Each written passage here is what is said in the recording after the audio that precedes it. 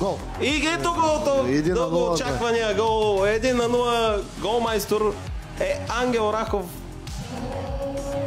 Е, какво да кажем, От- освен на... Добре по- започваме втори. По-добре не можеше и да започне втората част. Страхотни а, са нашите момчета. Ето, вижте отново прострелно центране и оставени. А Браво и на Филипов. Рахов. Браво и на Филипов. Трябва да А, Веско Филипов, това е чист прием в мини футбола, да останеш на задна града и да не си в полезрението на вратаря. В крайна сметка коригираха се. А сега, обаче- опасно и един на един.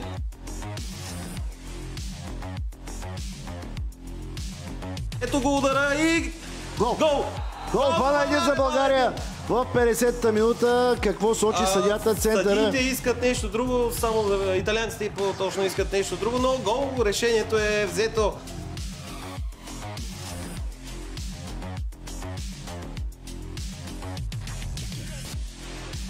И това е края. е. Това е края. Това е края.